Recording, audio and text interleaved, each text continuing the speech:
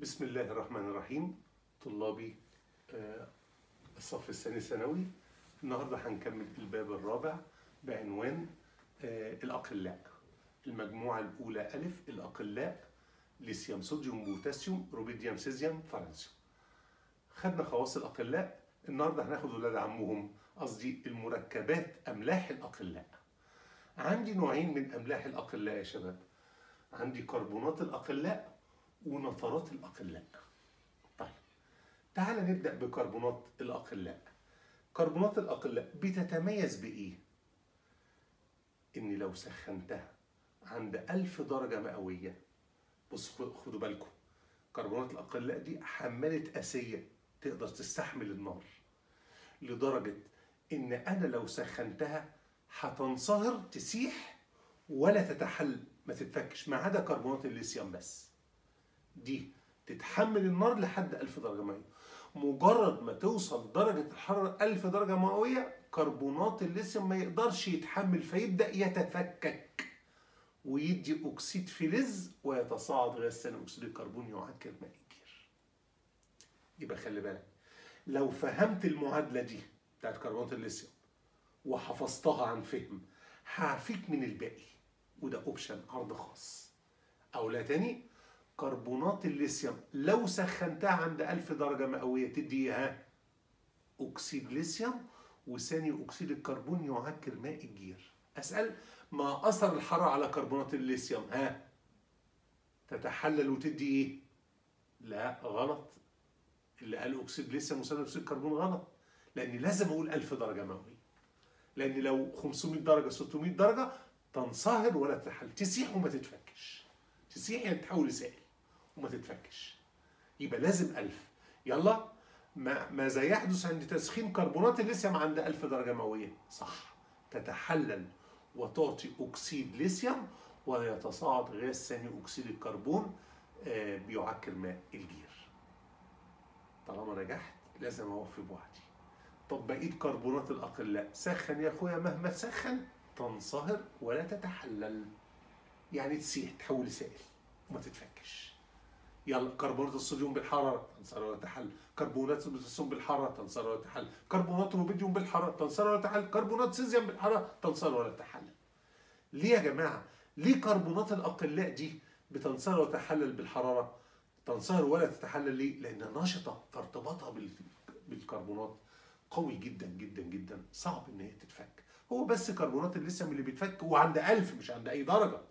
ليه؟ لأن أقلهم نشاطا أقلهم نشاطا يبقى كده نقدر نلخص الليلة. كربونات الأقلاء كلها بالحراره تنصهر ولا تتحلل. ما عدا كربونات الليثيوم عند 1000 درجة تدي ليثيوم وثاني اكسيد الكربون ماء الجير طب يجي لك سؤال. إزاي تميز بين كربونات ليثيوم وكربونات صوديوم؟ قول له سخن عند 1000 درجة مئوية. في كربونات ليثيوم يطلع ثاني أكسيد كربون يعكر ماء الجير في كربونات الصوديوم تنصهر ولا تتحلل طب كيف تميز بين كربونات ليثيوم وكربونات بوتاسيوم؟ برضه سخن عند 1000 درجة. كربونات ليثيوم ينحل بالحرارة ويدي أكسيد ليثيوم وثاني أكسيد كربون يعكر ماء الجير كربونات البوتاسيوم تنصهر ولا تتحلل طب كربونات ليثيوم وكربونات روبيديوم كربونات ليثيوم وكربونات سيزيوم نفس الإجابة. 1000 درجة كربونات الليثيوم تتحلل وتدي أكسيد ليثيوم وثاني أكسيد كربون يعكر ماء الجير أي كربونات تانية قول تنصهر ولا تتحلل طب لو قال لك كيف تميز بين كربونات صوديوم وكربونات بوتاسيوم؟ آه أوعى تسخن. ما أنت مهما تسخن دي تنصهر ولا تتحلل كربونات الصوديوم تنصهر ولا تتحلل وكربونات البوتاسيوم تنصهر ولا تتحلل. هنا تلجأ للكشف الجاف اللي خدناه الحصة اللي فاتت. حطهم على لهب بنزن. كربونات الصوديوم تديك آه هتديني آه أصفر ذهبي عشان الصوديوم كربونات البوتاسيوم هتدي بنفسجي فاتح. طيب أنا كده خلصت كربونات الاقلاء تعال نتكلم على نترات الاقلاء دي مريحة جدا جدا. كلها تنحل انحلال جزئي وتدي نيتريت الفلز وأكسجين. يلا نجرب. نترات الليثيوم بالحرارة نيتريت ليثيوم زائد أكسجين. نترات الصوديوم بالحرارة نيتريت صوديوم زائد أكسجين. نترات بوتاسيوم بالحرارة نيتريت بوتاسيوم زائد أكسجين. بس حاسم لأن نترات البوتاسيوم يصاحب انحلالها انفجار شديد. فتستخدم في عمل البارود. البومب الصواريخ بتاعت رمضان دي معمولة من نترات البوتاسيوم. ليه أول ما تولع الصاروخ وترميه النار دي تخلي نترات البوتاسيوم تتحلل انحلال جزئي وتدي نيتريت البوتاسيوم ويتصاعد غاز الأكسجين. بس الانحلال ده بيصاحبه انفجار شديد جدا جدا جدا. وما انصحكش إنك تعمل ده لأن الرسول قال لك لا تروع المسلم. أنت كده بتروع المسلم فأنت كده تاخد ذنب كبير. آه أنت بتهزر وبتضحك لكن لا. اضحك وهزر بما لا يضر لك هتقول لي طب يا مستر ينفع ناخد نترات الصوديوم ونعمل انفجار بيها؟ لا طبعا لأن نترات الصوديوم متميعة. يعني إيه متميعة؟ يعني تمتص بخار الماء من الهواء وبالتالي آه ما يصاحبهاش انفجار. وهنا السؤال يقول لك ليه بتستخدم نترات البوتاسيوم في عمل البارود ولا تستخدم نترات الصوديوم؟ قول له لأن يصاحب نترات البوتاسيوم انحلالها يصاحبه انفجار شديد. أما نترات الصوديوم متميعة أي تمتص بخار الماء من الهواء ده السؤال حبايبي اللي أنا قلته لك. كيف تميز بين كربونات الصوديوم وكربونات الليثيوم؟ ودي الإجابة النموذجية بتاعته بالمعادلات. وهنا السؤال الثاني علل ليه بستخدم نترات البوتاسيوم في عمل البارود ولا يستخدم نترات الصوديوم؟ برضو الإجابة قدامك بالمعادلات. وطبعا في الأسئلة المقالية لابد من كتابة المعادلة حتى لو ما طلبش منك.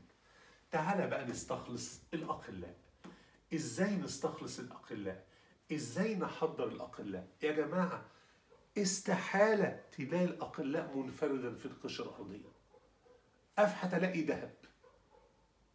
أفحت ألاقي نحاس. لكن استحالة أفحت ألاقي عنصر من عيلة الأقلاء. استحالة تبقى لوحدها. لا توجد منفردة في الطبيعة أبدا. ليه؟ لأنها لبط كيميائيا. من لبط نشطة كيميائيا. فتبقى على شكل مركبات أيونات. ما إحنا قلنا بقى أي مركب فيه واحد من عيلة الأقلاء بدون تفكير ده مركب أيوني بتوجد على شكل مركبات إيه؟ أيونية وخدنا قبل كده إن الأقلاء عوامل مختزلة قوية جدا عندها قدرة على فقد إلكترون المستوى الأخير عشان نص قطرها كبير فسهل تفقد إلكترون المستوى الأخير عشان تستقر. طيب تعال نشوف إزاي نحضر الأقلاء ناخد مثال الصوديوم والبوتاسيوم مثلا. أحضر الصوديوم والبوتاسيوم إزاي؟ آه في الصناعة. بالتحليل الكهربي لمصهور هليدتها. بالتحليل الكهربي لمصهور هليدتها في وجود مادة صهارة. يعني مادة تقلل درجة الانصهار توفر في الأنبوبة. توفر في الأنبوبة. يبقى إزاي أحضر الصوديوم والبوتاسيوم؟ أعمل تكات تحليل كهربي. لمحلول ولا مصهور؟ لا لمصهور هليدتها مصهور هليدتها مصهور هليدتها بس في وجود مادة صهارة يعني مادة تقلل درجة الانصهار عشان خاطر توفر لي في الأنبوبة لأن شوف الأنبوبة النهاردة بقت بكام. طيب نفهم إزاي ده بيحصل. ده حبايبي هنجيب مثلا على سبيل المثال على سبيل المثال مثلا ناخد كلوريد الصوديوم أو بروميد الصوديوم أو أي حاجة أي حاجة. ناخد كلوريد الصوديوم مثلا. أهو. إن إيه؟ سي إل. أعمل له تحليل كهربي ت كاف تحليل كهربي. إيه اللي بيحصل؟ أول ما أعمل لكلور الصوديوم تحليل كهربي بيتأين إلى أيون صوديوم موجب وأيون كلور سالب. خلاص حبيبي؟ أنا بعمل تحليل كهربي. طبعا في قطب موجب وفي قطب سالب. خلية كهربية قطب موجب وقطب سالب. البطارية. إيه اللي هيحصل؟ أيون الصوديوم الموجب هينجذب إلى الكاثود اللي هو القطب السالب لأن الأجسام ذات الشحنات المختلفة بتتجاذب. أدي ايون الصوديوم الموجب. يعني إيه ايون صوديوم موجب يعني ضايع منه إلكترون وفاقد الشيء. لا غلط ما تقولش لا يعطيه. لا بيدور عليه. فايون الصوديوم الموجب عشان ضايع منه إلكترون يروح يدور عليه عند الكاثود ينجذب إلى الكاثود السالب. وهناك الصوديوم يحصل له اختزال اكتساب إلكترون ويتحول لذره صوديوم متعادله بس هنا بضرب في اتنين اتنين صوديوم بيحصل لهم اختزال بيكتسبوا اتنين إلكترون وتحول لذرتين صوديوم متعادلين ده اللي بيحصل عند الأنود تاني طلابي. أنا دلوقتي عايز أحضر الصوديوم في الصناعة. أعمل تحليل كهربي لكلوريد الصوديوم مثلا. بجيب كلوريد الصوديوم وأحطه في الخلية وامرر التيار الكهربي. خدت بالك يا أولاد فبيتأين كلور الصوديوم إلى ايون صوديوم موجب وايون كلور سالب طيب. ايون الصوديوم الموجب بينجذب إلى الكاثود السالب بيروح للكاثود السالب. وهناك يقول له أنا ضايع مني الكترون إديني بداله. يقول اتفضل. فيحصل له اختزال اكتساب الكترون ويتحول لذرات إيه؟ صوديوم. أنا كده نجحت إن أنا أحضر الصوديوم. ده عند الكاثود طب عند المصعد اللي هو الأنود بقى إيه اللي بيحصل؟ أيون الكلور السالب بيروح عند المصعد كل اتنين أيونين كلور سالبين يروح عند المصعد وهناك يحصل له أكسدة فقد اتنين إلكترون ويطلع على شكل غاز كلور. فخلي بالك عند المهبط اللي هو الكاثود بيتكون الصوديوم وعند المصعد اللي هو الأنود بيتصاعد غاز الكلور وده غاز سام خلي بالك. عشان كده أنصحك لما التجربة دي تتعمل قدامك اوعى تحط مناخيرك عند ال- الانود لأن هيطلع كلور غاز سام يبقى أنا هنا نجحت إن أنا أعمل تحليل كهربي لمصهور مصهور وليس محلول مصهور وليس محلول. كلوريد الصوديوم. وممكن بروميد صوديوم ممكن يوديد صوديوم. هاليداتها طب ليه مصهور وليس محلول؟ مصهور ليه؟ عشان يطلع صوديوم. لسهولة اختزال الصوديوم وصعوبة اختزال المية. لكن لو حطيت محلول لا اللي هيحصل له اختزال مش الصوديوم المية هي اللي هيحصل لها اختزال وهنا مش هيطلع صوديوم هيطلع هيدروكسيد صوديوم. وده أنا مش عايزه يبقى إزاي أعمل أحضر الصوديوم في الصناعة؟ ها تكاف تحليل كهربي. لمصهور ولا محلول؟ مصهور بقولها تاني؟ مصهور بعلنها على الملأ. مصهور وبكتبها على الشاشة. مصهور كلوريد صوديوم وليس محلول. المصهور يدي صوديوم.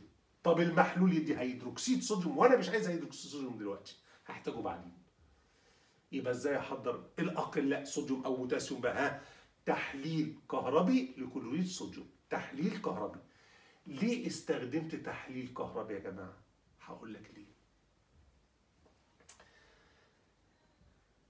لأن ما ينفعش معاه إلا الكهرباء. دلوقتي أنا عايز الصوديوم مثلا مثلا أنا عندي.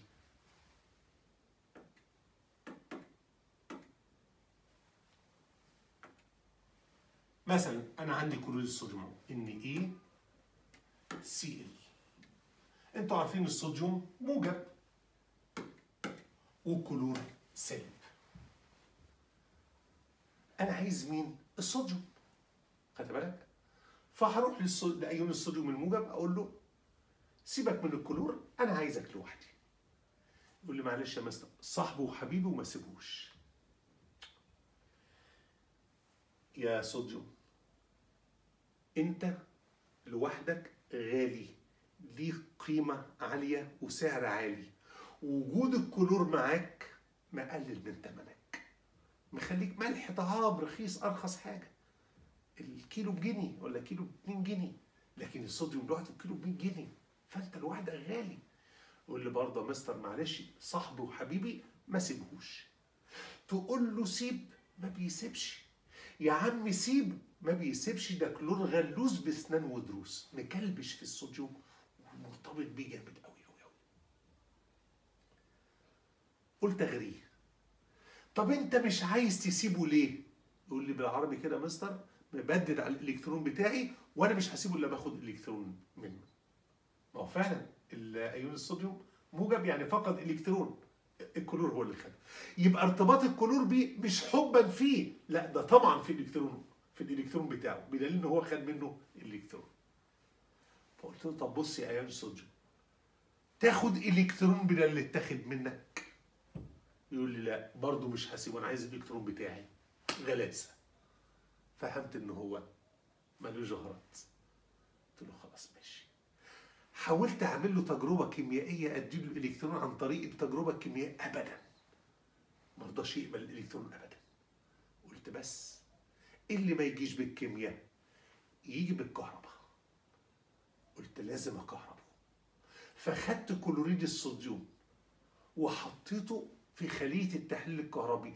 بس قبل ما أوصل الكهرباء مسكت الميكروفون وعطيت تنبيه أخير. على أيون الصوديوم الموجب ترك الكلور فورا. المكان كله.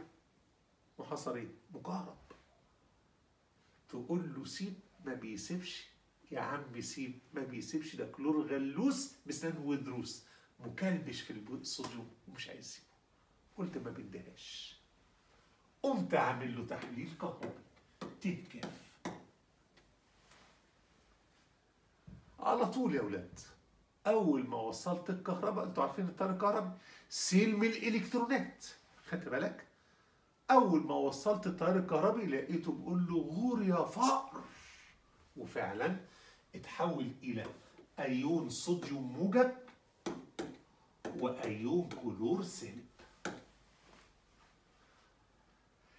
أيون الصوديوم الموجب بينجذب ناحية المصع المهبط. المهبط اللي هو الكاسود أهو. ده أيون الصوديوم الموجب. يروح عند الكاسود السالب. وهناك يحصل له اختزال اكتساب إلكترون من اللي ضاع منه ويتحول إلى ذرات صوديوم. بكده أنا حضرت الصوديوم في الصناعة. طب أيون الكلور السالب؟ يروح عند المهبط أو الكلور السالب يروح عند المصعد اللي هو الأنود. وهناك اتنين كلور بيحصل لهم اكسده فقد إلكترونين ويتصاعد على شكل غاز الكلور يبقى عند الأنود يتصاعد غاز الكلور وعند الكاثود يتكون الصوديوم وبنفس الطريقة أقدر أجيب البوتاسيوم. بس أحط هنا كلوريد بوتاسيوم أو بروميد بوتاسيوم أو يوديد بوتاسيوم. بكده نجحت. إن أنا أحضر الأقلاء بالتحليل الكهربي لمصهور هاليدات. تحليل كهربي لمصهور هاليدات. تحليل كهربي لمصهور هاليدات. مصهور وليس محلول. مصهور وليس محلول. المصهور يدي الأقلاء الصوديوم والبوتاسيوم. إنما المحلول يدي هيدروكسيد الصوديوم وهيدروكسيد البوتاسيوم ومش لازمني دلوقتي. بكده حبايبي قدرت إن أنا أحضر الأقلاء بالتحليل الكهربي لمصهور هاليدات تعال نشوف كده الكلام ده هنقوله إزاي.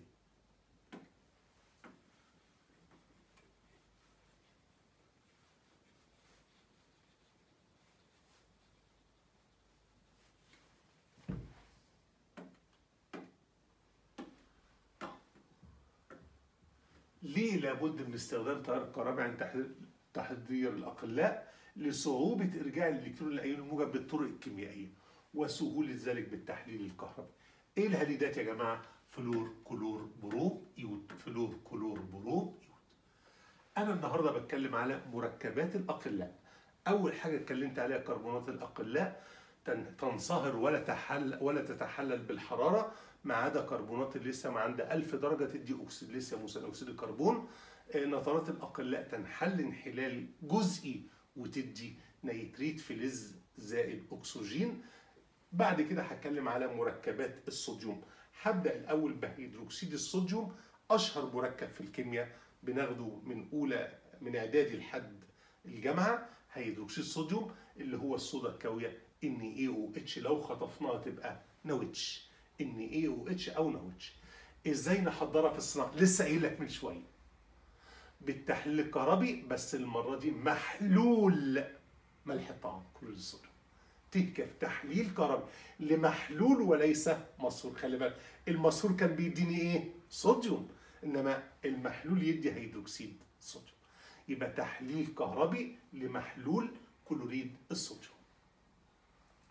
إيه خواص الصودا الكاويه اللي هي هيدروكسيد الصوديوم اللي هي نوتش. دي مادة صلبة بيضاء. لونها أبيض ناصع البياض. البطاس على فكرة الصودا الكاويه اللي هي البطاس اللي بيعملوا منه الصابون. بس خلي بالك دي مادة كاويه لها تأثير كاوي على الجلد. اوعى تمسكها بإيديك. إيه، لأن الصودا الكاويه أو هيدروكسيد الصوديوم آه، لها آه، ملمس ناعم زي الصابون كده ولها تأثير كاوي على الجلد. طيب هيدروكسيد الصوديوم ده اللي هو البطاس اللي بيعملوا منه الصابون لو دوبته في المية تلاقي المية سخنت. انت تستغرب. مثلا أنا حطيت ما حطيتش على النار. الميه سخنت قوي ليه كده؟ أنا مش قادر أمسك الإناء. أقول لك لأن ذوبان هيدروكسيد الصوديوم طارد للحراره مجرد ما تدوب في المية بيصاحبها انطلاق طاقة حرارية فبيبقى ذوبانها طارد طب هيدروكسيد الصوديوم ده قلوي. تتعادل مع الأحماض وتعطي ملح وميه ده تفاعل التعادل بتعادل حمض زائد قلوي ملح زائد ميه يبقى هيدروكسيد الصوديوم مادة صلبة بيضاء لها ملمس ناعم زي الصابون آه، لها تأثير كاوي على الجلد. آه آه، ده حتة مهمة قوي نسيت أقولها لك. إن هيدروكسيد الصوديوم بيزيد وزنها في الهواء. لو سبتها في الهواء يزيد وزنها. ليه؟ لأنها متميعة يعني تمتص بخار الماء من الهواء. تمتص بخار الماء من الهواء. ذوبانها طارد للحرارة. يبقى في حتتين مهمين قوي بلفت نظرك ليها. ليها ملمس ناعم زي الصابون. آه آه لو سبتها في الهواء تمتص تزيد كتلتها لأنها تمتص بخار الماء من الهواء. وأدي المعادلات اللي تثبت الكلام ده إن هي مادة قلوية تتعادل مع الأحماض وتعطي ملح وميه هيدروكسيد الصوديوم مع حمض الهيدروكلور كلوريد صوديوم وميه هيدروكسيد الصوديوم مع حمض الكبريتيك كبريتات الصوديوم وميه هيدروكسيد الصوديوم مع حمض العفريتيك عفريتات الصوديوم وميه ملح الحمض وميه إيه فايدة هيدروكسيد الصوديوم أول فايدة في الصناعة. لسه أنا قايل لك صناعة الصابون والورق والحرير الصناعي. يبقى البطاس ده صابون تلاقي ورق تلاقي حرير صناعي تلاقي. ده في الصناعة. في إيه تاني؟ تنقية البترول من الشوائب الحمضية. أصل هو قلوي. فلما اضيفه للبترول هيتفاعل مع أي شوائب حمضية موجودة في البترول فينقي منها تماما. لأنه هو قلوي. يتعادل مع الأحماض ويدي ملح. طب الفايدة الثالثة آه. دي أخطر فايدة مشتركة ما بين منهج تانية ثانوي ومنهج ثالثة ثانوي. الكشف عن الشكوك القاعدية اللي هي الأيونات الموجبة اللي هي الكاتيونات. خلي بالك الأيون الموجب اللي أنت طول عمرك عارفه ليه اسم تاني اسمه كاتيون أو بسميه شق حامضي وأديك مثال على الكلام ده.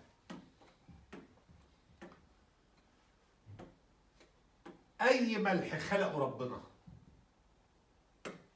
أي ملح خلقه ربنا. وليكن مثلا كلوريد صوديوم N A؟ C L ده موجب وده سالب أنت عارف إن ده ايون موجب. صح. بس ليه اسم تاني. كاتيون. أو شق قاعدي.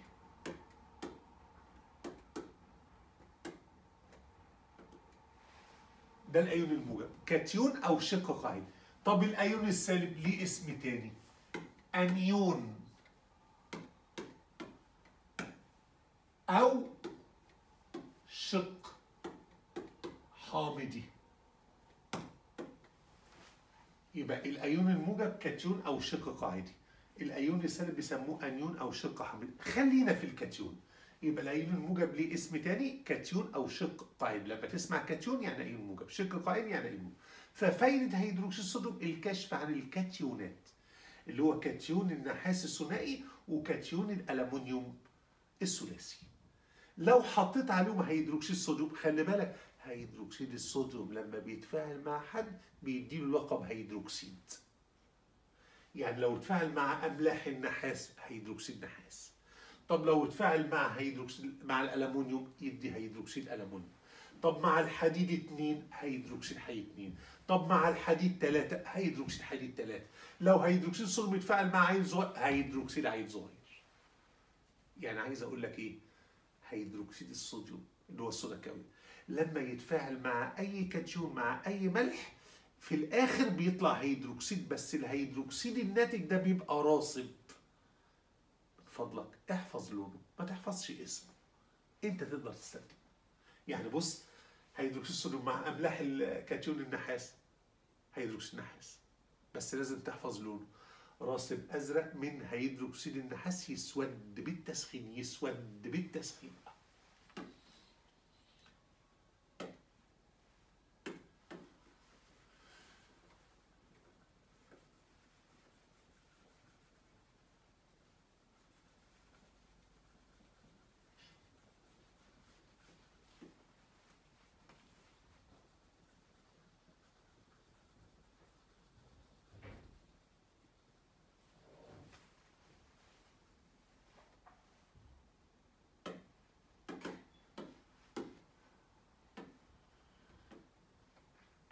طبعا مع النحاس هيدروكسيد مع النحاس هيدي راسب ازرق من هيدروكسيد النحاس يسود بالتسخين يسود بالتسخين لتكون أكسيد النحاس الأسود.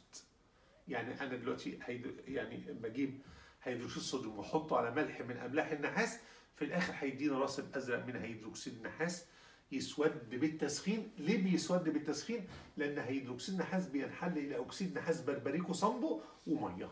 بربريكو صامبو يعني أسود فحم ومية.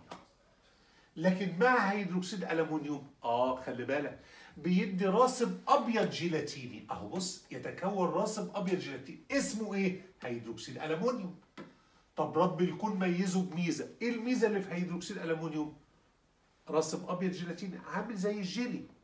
طب الميزة اللي فيه إيه؟ ان بيدوب في الزيادة من الصودا الكاويه يعني الراسب ده بيختفي. لو زودت صودا كاويه هيدروكسيد صوديوم. ليه؟ ليه بيختفي؟ لتكون ميتا الومنات الصوديوم ودي ذائبة في الماء يبقى تاني يا ولاد السؤال كيف تميز بين ملح فيه كاتيون نحاس وملح فيه كاتيون الومنيوم حط على الاثنين محلول هيدروكسيد صوديوم. حط محلول هيدروكسيد صوديوم على محلول الملح في الحالتين. في حالة أملاح النحاس المشاهدة يتكون راسب أزرق من هيدروكسيد النحاس يسود بالتسخين يسود بالتسخين. طب في حالة كاتيون الالومنيوم يتكون راسب أبيض جيلاتيني من هيدروكسيد الالومنيوم يذوب في الزيادة من الصودا الكاويه نتيجة لتكون ميتا ألومينات الصوديوم ميتا ألومينات الصوديوم تعال نشوف كده السؤال.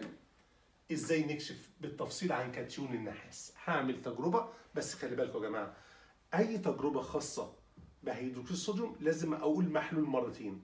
بإضافة محلول هيدروكسيد الصوديوم على محلول الملح. لازم كلمة محلول دي أقولها مرتين. يلا إزاي نكشف على كاتيون النحاس؟ هات لي أي ملح فيه نحاس. كلوريد نحاس كبريتات نحاس نترات نحاس فوسفات نحاس. المهم ملح فيه نحاس. يلا نقول التجربه بإضافة محلول هيدروكسيد الصوديوم إلى محلول كبريتات النحاس. أدي هيدروكسيد الصوديوم لمحلول كبريتات نحاس aqueous محلول. المشاهدة. انت احفظها بقى. يتكون راسب أزرق من هيدروكسيد النحاس يسود بالتسخين يسود بالتسخين أهو. أدي كبريتات النحاس أهو. حطيت له هيدروكسيد الصوديوم. العب لعبة الأرقام. الأول مع الرابع. ما ترجعش إيه ده هيدروكسيد نحاس راسب أزرق. ما ترجعش إيدك فاضية. التالت مع التاني كبريتات صوديوم هيدروكسيد نحاس ده راسب أزرق. لو سخنته بيتفكك. إلى اكسيد نحاس بربريكو صامبو أسود وميه يبقى فعلا يتكون راسب أزرق من هيدروكسيد النحاس يسود بالتسخين يسود بالتسخين. ده الكشف عن كاتيون النحاس. طب إزاي أكشف عن كاتيون الالومنيوم آه جميل. هقول كلمة محلول مرتين برضه بإضافة محلول هيدروكسيد الصوديوم. إلى محلول الملح أيا كان بقى. آخد كلوريد ألمونيوم كبريتات ألمونيوم نترات ألمونيوم فوسفات المهم في ألمونيوم. بإضافة محلول هيدروكسيد الصوديوم إلى محلول كلوريد الألمونيوم. المشاهدة احفظها بقى. يتكون راسب أبيض جيلاتيني من هيدروكسيد ألمونيوم. يبقى عامل زي الجيلي. طيب إيش عرفني إن هو مش جيلي؟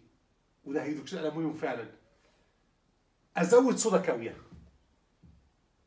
فيختفي الراسب ليه؟ نتيجة لتكون ميتا ألومينات الصوديوم الذائبة في المية. يبقى الأول بيتكون راسب بس بيدوب في الزياده من الصودا الكاويه نتيجة لتكون ميتا ألومينات الصوديوم الذائبة. هتقولي طيب دي هتفيدني في حاجة؟ آه خلي بالك احذر. وأنت بتكشف عن كاتيون الألومنيوم حط نقطة نقطة. لأن في الجامعة شفنا بعض الزملاء يعملوا إيه؟ خدت بالكم؟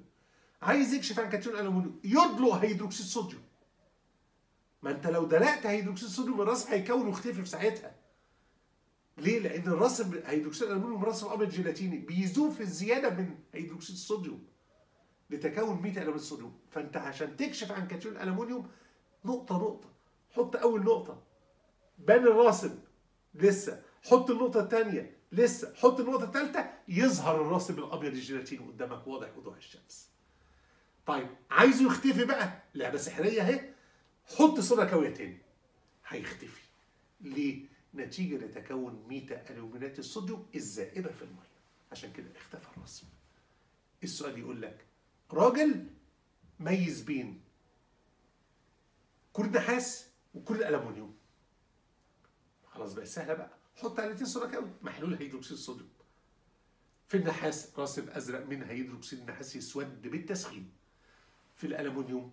راسب أبيض جيلاتيني. من هيدروكسيد الومنيوم يذوب في الزيادة من الصودا الكاويه نتيجه لتكون ميتا ألومينات الصوديوم. ميتا ألومينات الصوديوم. ميتا ألومينات الصوديوم الذائبة في الميه.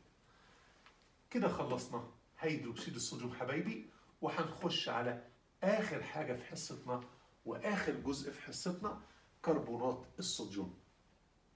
كلنا عارفين رمز كربونات الصوديوم وعلمتك تجيب تبادل التكافؤ Na 2 CO 3 عشان كده ما كتبتهولكش. لكن كربونات الصوديوم الملح المتهدرت المتبلر قصدي المتبلور منها بيسميه صودا الغسيل يبقى دي كده لوحدها من غير مية اسمها كربونات صوديوم. كده صودا الغسيل كده كربونات صوديوم. ها؟ صودا الغسيل كربونات صوديوم. صودا الغسيل وما تنساش متهدرت يعني متبلر يعني مبلول. بس ما بنقولش كلمة مبلول لأن كلمة مبلول بتعيد ذكريات أليمة في الطفولة. فما بنقولهاش. بنقول إيه؟ متهدرت أو متبلر. فأنت أول ما تسمع متهدرت أو متبلر يعني معناها صح. إزاي نحضر كربونات الصوديوم في المعمل؟ تحضيرها في المعمل. إزاي؟ بمرر غاز ثاني أكسيد الكربون على محلول هيدروكسيد صوديوم ساخن. سخن. أنا عايز أحضر صودا غسيل أو كربونات الصوديوم المتبلرة المتهدرتة ومش هقول الكلمة الوحشة. همرر غاز ثاني أكسيد الكربون على محلول هيدروكسيد الصوديوم الساخن. وأسيب المحلول يبرد. إيه اللي هيحصل؟ هو مجرد ما مرر ثاني أكسيد الكربون على هيدروكسيد الصوديوم يدي كربونات صوديوم ومية. بس لما اسيبه المحلول يبرد كربونات الصوديوم بترتبط ب 10 مولات مية وتدي صودا الغسيل. بتدي صودا الغسيل. اللي هو ده رمزها كربونات الصوديوم ترتبط ب 10 جزيئات مية أو 10 مولات مية وتدي صودا الغسيل اللي إحنا قلنا عليها. طب يا مستر إحنا حضرنا كربونات الصوديوم في المعمل. إزاي؟ بإمرار آه ثاني أكسيد الكربون على محلول مشبع من هيدروكسيد الصوديوم ساخن. فتدي كربونات صوديوم أسيبها تبرد تتبلر. يعني إيه تتبلر؟ ترتبط ب 10 جزيئات مية وتدي صودا الغسيل. أنا حضرتها في المعمل. لكن عايز أحضرها في الصناعة. لا دي مش بتاعتي أنا. دي بتاعت عالم اسمه سولفاي. تحضير كربونات الصوديوم في الصناعة طريقة سولفاي وانت نازل الدخيلة قبل ما توصل وادي القمر على إيدك اليمين هتلاقي شركة مكتوب عليها سولفاي لكربونات الصوديوم. لأن اللي اكتشف طريقة تحضير كربونات الصوديوم في الصناعة عالم اسمه سولفاي وهقول لك قصته. سولفاي دوت حب يصنع كربونات الصوديوم بكميات كبيرة وبطريقة رخيصة عشان يبيع ويكسب. خدت بالكم؟ فعمل إيه؟ راح جاب النشادر وجاب غاز ثاني أكسيد الكربون ولم ملح الطعام اللي في العجمي كله اللي في الدنيا كلها. لم كمية ملح طعام كبيرة جدا جدا جدا. وثاني أكسيد الكربون مع النشادر مع ملح الطعام مع المية خلط الأربع حاجات عشان يديله كربونات الصوديوم. أهو يا جماعة. أدي النشادر وأدي ثاني أكسيد الكربون وأدي المية وأدي ملح الطعام. الأربعة اتفاعلوا مع بعض عشان هو عايز كربونات إيه؟ الصوديوم. بس يا خسارة. عطاله بيكربونات صوديوم وكلوريد أمونيوم. فجاله إحباط وكان عصبي. قام ولع في المصنع وخد بعضه ومشي. في اللحظة دي طلع يجري وراه عبقريين مستر سولفي مستر سولفي تعالى طلعت كربونات الصوديوم اللي انت عايزها.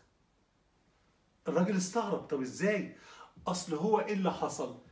لما طلع بيكربونات الصوديوم والكلوريد امونيوم ولع في المصنع فمن غير ما يقصد سخن بيكربونات الصوديوم. فإحنا لما بنسخن بيكربونات الصوديوم بتتحول إلى كربونات صوديوم وهو المطلوب. تحضيره. ويطلع مية وثاني اكسيد تاني. وفعلا نجح إن هو يحضر كربونات الصوديوم. يبقى إزاي نحضر كربونات الصوديوم في الصناعة بطريقة سولفاي بإمرار النشادر وثاني أكسيد الكربون وملح الطعام والمية وتسخينهم الاربعه مع بعض؟ يطلع بيكربونات صوديوم وكلوريد أمونيوم. سخن بيكربونات الصوديوم تتحول إلى كربونات صوديوم وهو المطلوب تحضيره وثاني أكسيد الكربون والمية. بكده يا ولاد نجحنا إن إحنا نحضر كربونات الصوديوم في الصناعة. يبقى اوعى تنسى في المعمل حاجة وفي الصناعة حاجة في المعمل بإمرار ثاني أكسيد الكربون على محلول مشبع من هيدروكسيد الصوديوم واسيب المحلول يبرد. هيطلع الأول كربونات الصوديوم هتاخد 10 مية تبقى صودا غسيل. ده في المعمل. طب في الصناعة طريقة سولفاي ممكن سولفاي. سولفاي عمل إيه؟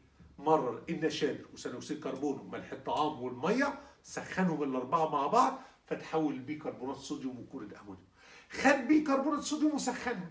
على طول عطيت له كربونات الصوديوم ومية وثاني أكسيد الكربون ودي طريقة سولفاي هتقول يا مستر هي مهمة لدرجة إن يعملوا لها مصنع. قبل ما أوصل وادي القمر على إيدي اليمين. آه طبعا مهمة جدا كمان. طب إيه فايدتها؟ أربع فوائد حبايبي.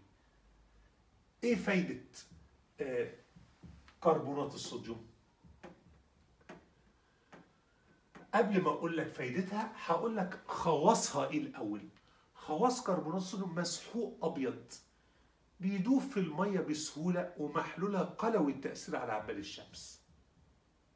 مسحوق لون أبيض.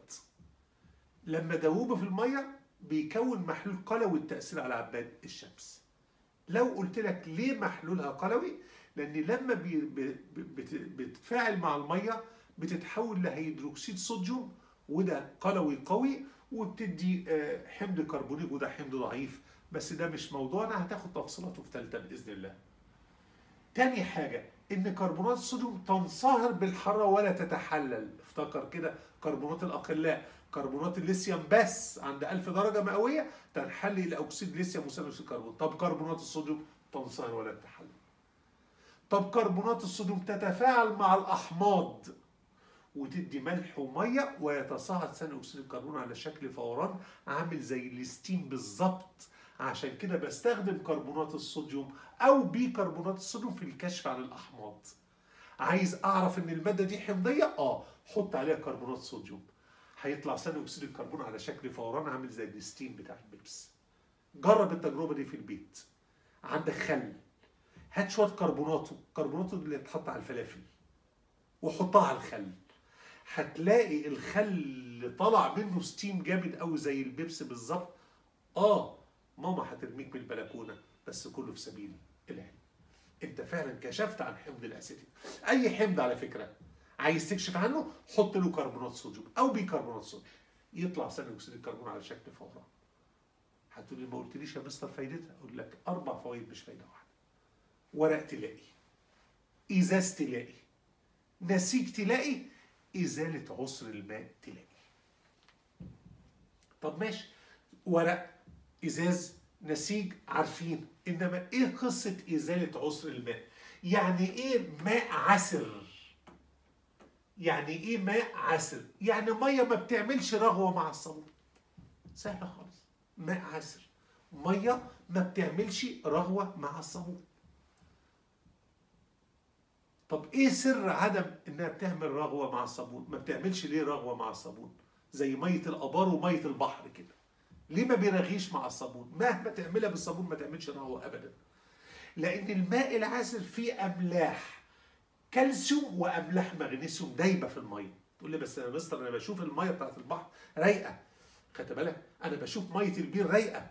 لا ما هي الأملاح دي دايبة أنت ما تشوفهاش. هي دي اللي اللي بتمنع وجود رغوة مع الصابون. طب مجرد ما تحط عليها كربونات الصوديوم بتعمل رغوة مع الصابون. ليه بقى؟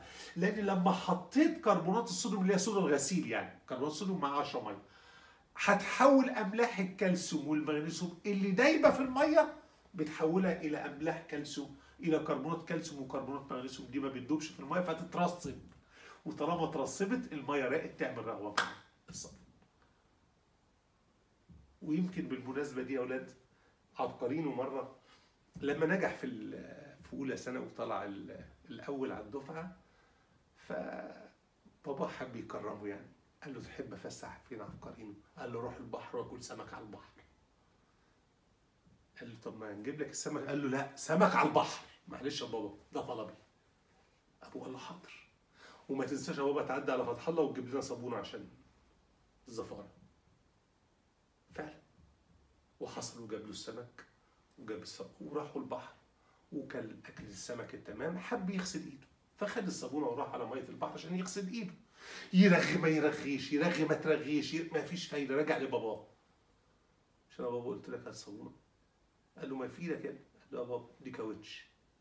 قال له يا ابني صابونة. قال له يا بابا كاوتش. قال له بقول لك صابونة. قال له قلت لك كاوتش. هي صابونة ولا كاوتش? هي صابونة. بس مية البحر ماء عسر ما يرغيش مع الصابون ابدا. جرب كده. خد بالك؟ طب ليه؟ ليه الصابون ما بيرغيش مع مية البحر؟ لأن مية البحر فيها أملاح كالسيوم ومغنيسيوم بس أنت ما تهرشهاش أنت مش شايفها دايبة في المية. طب ماشي. تعمل إيه عشان تخلي مية البحر ترغي؟ يخرب بيت غبائك. هتحط لها صودا غسيل؟ هتحط على البحر صودا غسيل؟ هتكفي للبحر صودا غسيل؟ لا خد عينة وحط شوية صودا غسيل. صودا الغسيل هتعمل إيه؟ هتحول أملاح الكالسيوم والمغنيسيوم اللي دايبة اللي انت مش شايفها بتحولها إلى كربونات كالسيوم. أو مغنيسيوم ودي راسبه ما بتدوبش فتترسب والمية تبقى تمام وترغي وتشتغل عادي. وأدي المعادله يا أولاد. أدي كبريتات الكالسيوم وكبريتات المغنيسيوم دول دايبين في المية ما انتش شايفهم. مجرد ما تحط لهم كربونات الصوديوم اللي هي صودا الغسيل على طول العب لعبة الأرقام. الأول مع الرابع والثالث مع الثاني تدي كربونات كالسيوم أو كربونات مغنيسيوم والاثنين دول آه بيترسبوا. فخلاص اتخلصنا من أملاح الكالسيوم وأملاح المغنيسيوم المية تبدأ تعمل رغوه مع الصابون. طلابي حبايبي اوعى تنسى صودا الغسيل ليها طريقة تحضير في المعمل وطريقة تحضير في الصناعة. المعمل بإمرار ثاني أكسيد الكربون على وفرة أو محلول مشبع ساخن من هيدروكسيد الصوديوم. فتطلع كربونات الصوديوم. أسيبها تبرد تتبلر. يعني إيه تتبلر؟ يعني تندمج 10 جزيئات مية. 10 مولات ميه وتدي صودا الغسيل ده في المعمل في الصناعة افتكر سولفاي واللي عمله جاب نشادر وجاب ثاني اكسيد كربون وجاب ملح طعام وجاب مية وفعلهم مع بعض. طلعت له بيكربونات صوديوم وكلوريد أمونيوم. ييأس؟ لا. خد بيكربونات صوديوم وسخنها. طلعت كربونات الصوديوم. طب إيه فايدة كربونات الصوديوم؟ ليها فايدة؟ لا. ليها أربع فوائد. ورق زجاج. نسيج. الفايدة الرابعة إزالة إزالة عسر الماء. إزالة عسر الماء. الماء العسر ما بيعملش رغوة مع الصابون. ليه يا عم ما بترغيش مع الصابون؟ في حاجة مزعلاك؟ يقول لك آه أملاح الكالسيوم والمغنيسيوم اللي دايما فيا هي دي اللي منعها. سهلة. حط صودا غسيل على الماء العسر هتحول أملاح الكالسيوم والمغنيسيوم الذائبة تحولهم إلى كربونات كالسيوم وكربونات مغنيسيوم راسبة تترسب وبالتالي يعمل رغوه مع الصابون الدور الحيوي لأيونات الصوديوم وأيونات البوتاسيوم. يعني فايدة أيونات الصوديوم وأيونات البوتاسيوم على حياتنا. الدور الحيوي فايدتهم في الحياة. يلا بينا نشوف أيونات الصوديوم الأول. أين توجد أيونات الصوديوم؟ موجودة في بلازما الدم. في المحاليل اللي حوالين خلايا الجسم.